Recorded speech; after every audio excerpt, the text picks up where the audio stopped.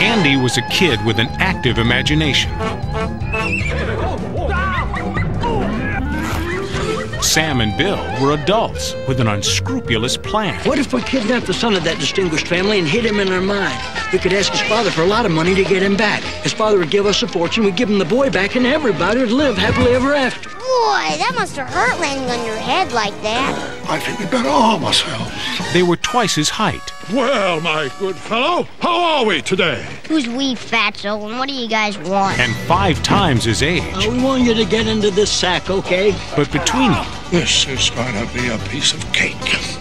they didn't have half a brain. The kid's father better be loaded. We have kidnapped your son. Thank you, God! Give us money in the amount of Forty-seven fifty. Here you are. A reply to end all replies. You bring Andy home and pay me $250 in cash.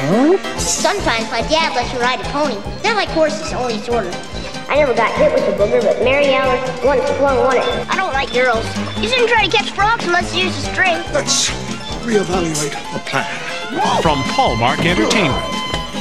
Convicts, Don't be such a sissy boy. Look, I'm not the one wearing the beret. scalawags, Give me one good reason not to kill you. Don't have a hissy fit. and hunchbacks are no match for the kid they call the Chief. What do you think of spiders? Look, I hate spiders. Well, that's too bad because you got one on your head. No, no, no, no, no, no, no, no. Christopher Lloyd, Michael Jeter,